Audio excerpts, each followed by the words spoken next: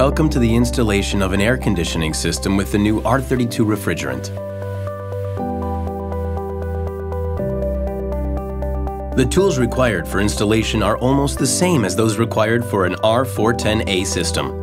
However, it's important to check that the vacuum pump and pressure gauge are compatible with the R32 refrigerant. All the other tools are still the same.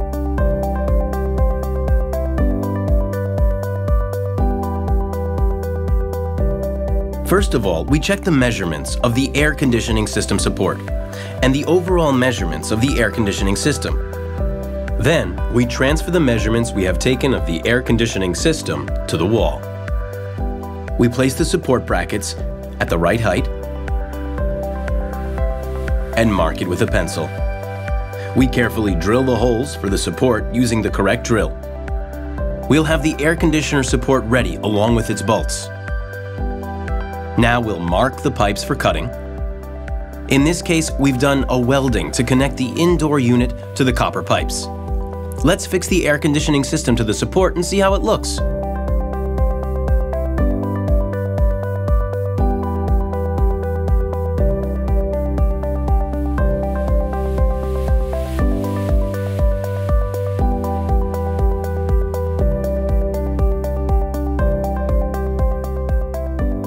We connect the pipes and tighten them with an adjustable wrench. Another important point to consider is the vacuum. The vacuum is needed for extracting the air and humidity from the entire installation so they don't remain inside the copper pipes. We have to be sure to do it using both a pressure gauge and a vacuum pump that are compatible with the R32 refrigerant. We take the low side hose and connect it to the service port in order to create the vacuum. Once connected, we open the low side valve of the pressure gauge and start the pump. When the vacuum is done, we close the valve and turn off the pump.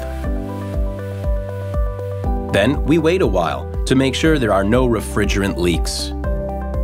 If the circuit wasn't properly closed, we would see the needle rise.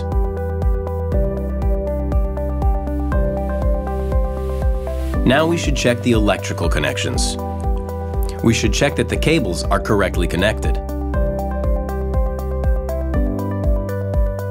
Then we fully open the valves gas and liquid. Consequently, we'll watch the pressure gauge needle rise. Check that the pressure gauge has a dedicated R32 scale. Although it's similar to the R410A, R32 works a bit higher in pressure. Most of the time, pipes come with insulation, but we'll make them pass through a gutter with the electrical cable. This refrigerant is 100% pure, which makes it easier to recycle and reuse.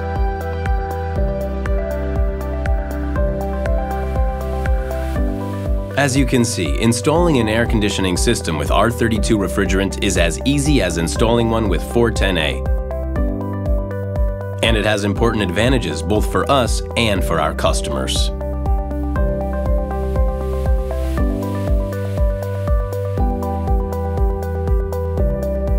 Increased efficiency, Class A triple plus. Increased energy savings, zero impact on the ozone layer, 75% less impact on global warming, and 30% less amount of refrigerant.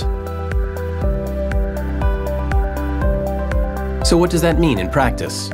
More well-being for the users and more respect for our planet. So why wait?